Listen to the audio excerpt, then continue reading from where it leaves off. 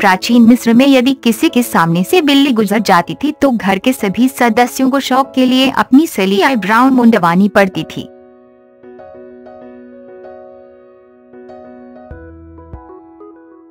प्राचीन मिस्र में नौकरों को शहद में लिप्त कर दिया जाता था, ताकि मधुमक्खियों को राजा से दूर रखा जा सके। दुनिया की पहली शांति संधि का रिकॉर्ड मिस्र के पास है।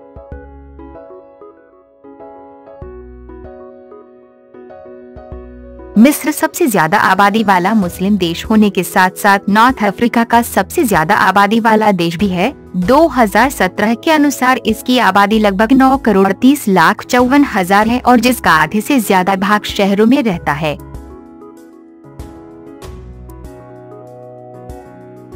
मिस्र में दुनिया के कुल पानी का शून्य दशमलव छह परसेंट है। यहाँ की आबादी सबसे ज़्यादा नील नदी के किनारे रहती है। यहाँ हर साल सिर्फ़ एक इंच बारिश होती है। प्राचीन मिस्र में करीब 1400 देवी देवताओं की पूजा होती थी। मिस्र की बहुत पुरानी कब्रों में टॉयलेट भी पाए गए हैं।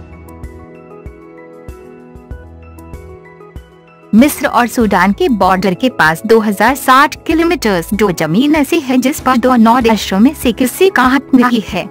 मिस्र का राष्ट्रीय पक्षी चील है।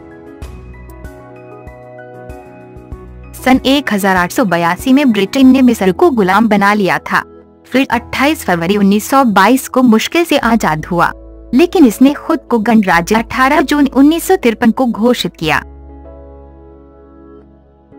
मिस्र का सबसे मशहूर पिरामिड खुजा पिरामिड अपने बनने के 3,871 साल बाद तक दुनिया की सबसे ऊँची इमारत थी। दुनिया में सबसे ज़्यादा पिरामिड सूडान में है। न कि मिस्र में। शादियों में अंगूठी पहनाने की प्रथा की शुरुआत मिस्र में ही हुई थी।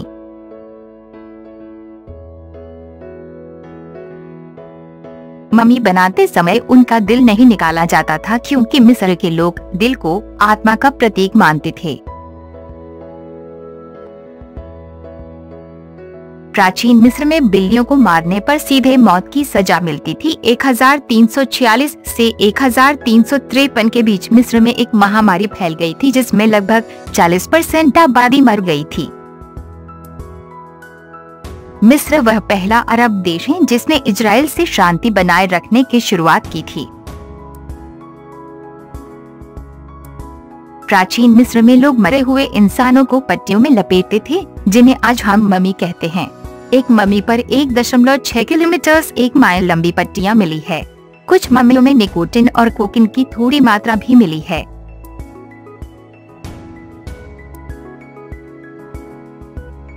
प्राचीन मिस्र में किसी राजा ने कभी अपने बाल नहीं दिखाए। ये हमेशा अपने सिर पर कुछ पहनते थे जिसे नेम्स नाम दिया गया। 2015 से पहले तक मिस्र के किसी प्रधानमंत्री ने बिना जेल जाए या बिना मरे ऑफ़िस नहीं छोड़ा था।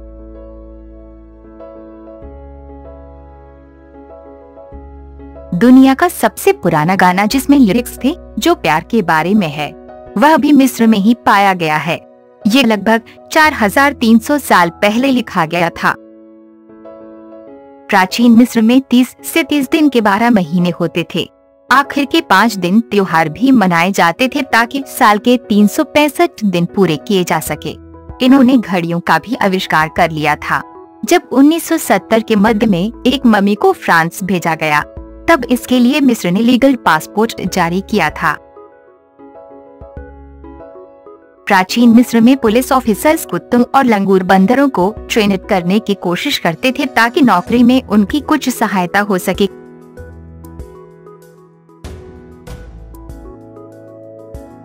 क्वाटा और छहवा से चुरी के आसपास मिस्र में सबसे ज़्यादा ईसाई थे लेकिन आज 90 परसेंट मुसलमान है। प्राचीन मिस्र में तकिए के रूप में पत्थर का इस्तेमाल किया जाता था।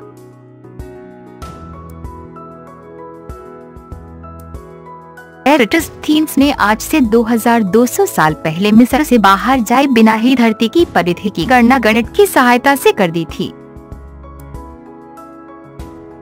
प्राचीन मिस्र के लोगों के पास गर्भ जांचने का 70 परसेंट सही तरीका था। महिला द्वारा खास तरह के बीजों पर पेशाब करने के बाद यदि ये बीज अंकुरित हो जाते थे तो समझो वह गर्भवती थी।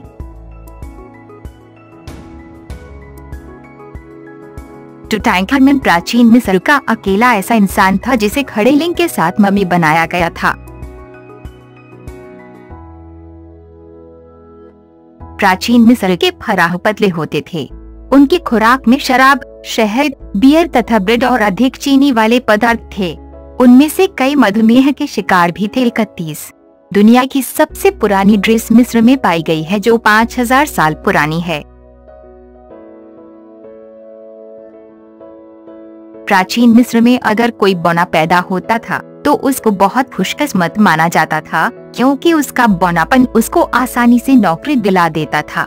नौकरी भी ऐसी वैसी नहीं, बल्कि सोने के कारखाने में।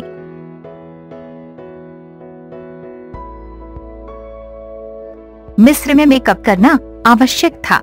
ये लोग सुरमा का प्रयोग ज़रूर करते थे। वो मानते थे कि हरा और काला सुरमा उन्हें सूर्य की किरणों, मक्खियों तथा हानिकारक संक्रमणों से बचाए रखता था।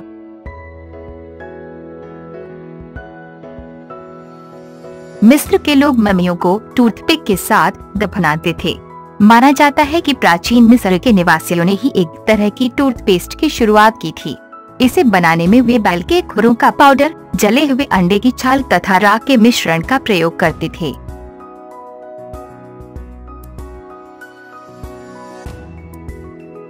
किसी एक दिन में लगभग पाँच लोगों को फांसी को सजा सुनाने का रिकॉर्ड भी मिस्र के पास हुई है। 2013 में हुए दंगे के जुर्म में 25 मार्च 2014 को मिस्र के एक क्रिमिनल कोर्ट ने फांसी की सजा सुनाई थी। मिस्र पर जब फिरौन का शासनकाल था, तब वहाँ की मुद्रा दारू हुआ करती थी। प्राचीन मिस्र में अंधेपन के इलाज के दौरान सुअर की आँख मरीज़ के कान में डाली जाती थी। फराओ पे पी आई आई दो दो चार छह दो एक पाँच दो बीसी का शासन शासनकाल इतिहास में सबसे लंबे समय तक था चौरानवे साल। जब वे सिर्फ़ छह साल के थे, तभी मिस्र के राजा बन गए थे। प्राचीन मिस्र में जब कोई मर जाता था, तब उसी के चेहरे जैसा एक मास्क उसे पहना दिया जाता था, ताकि आत्मा को दोबारा शरीर पहचानने में आसानी हो। नेपोलियन एक जुलाई सत्रह सौ अट्ठानवे को मिस्र गया था, लेकिन ये अपने मिशन में कामयाब नहीं हो पाया और तीन साल, दो महीना और एक दिन के बाद 2 सितंबर 1801 को वापस फ्रांस लौट आया। हिलेरी क्लिंटन जब 2012 में मिस्र आई थी तो उस पर भीड़ ने जूते और टमाटर फेंके थे।